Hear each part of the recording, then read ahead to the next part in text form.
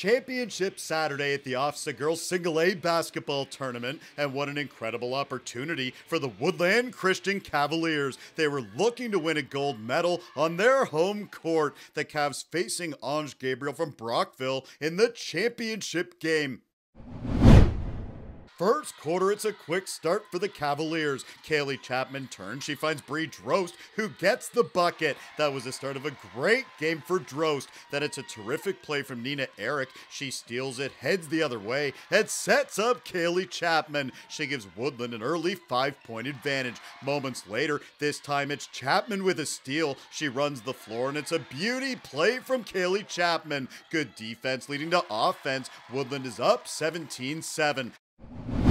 Second quarter now, the Cavaliers dialing long distance. This is Trisha Cui Velasquez with a three pointer. She makes it a 13 point ball game. Back come the visitors. Ange Gabriel would go on a run. It's a lead pass for Emily Carrier, and she lays it in. Ange Gabriel is closing the gap, and a little later, here's a triple from Eva Berry. We've got ourselves a ball game. Woodland is up 26 19 at the break.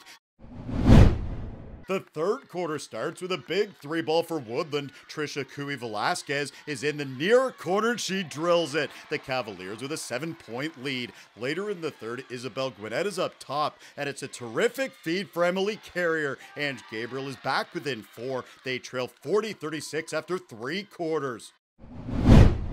Fourth quarter now, Nina Eric with the ball. She lobs it in for Bree Drost, who finds Kaylee Chapman. That's a great passing play from the Cavs, and they keep coming. This is Bree Drost to Kaylee Chapman. She drives and she scores. Chapman with a huge game. She makes it 52 44. And in the final minute, this play seals it. The Cavaliers work it around to Nina Eric, and she drills a three ball. The Cavaliers with a nine point lead, and they celebrate as time expires. The Cavaliers win the provincial title as they take it by a final score of 55 46. Here is the banner presentation and our post game interviews.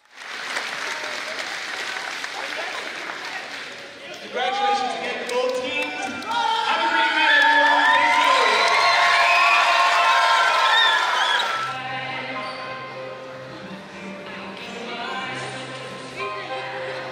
a team team game. Everybody put effort in. Everybody worked hard. Everybody scored. Everybody was on the floor. Everybody played good defense.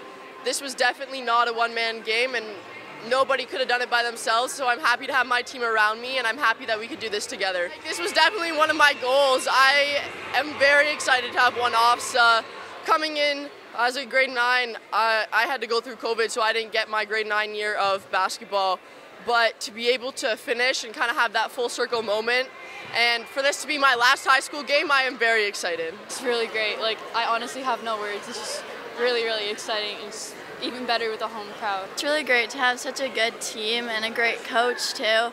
We we really enjoyed the whole season and going so far and then ending up winning OFSAA, so it was really fun.